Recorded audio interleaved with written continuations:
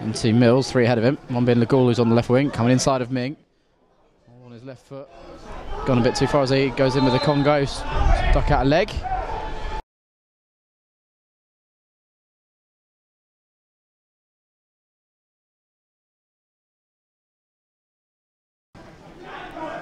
Here's L'Ghoul. Chance for him to run at Ming. Goes to the early cross. Mills controls. He's onside, the far side of the area, taking on Chambers chips it too high.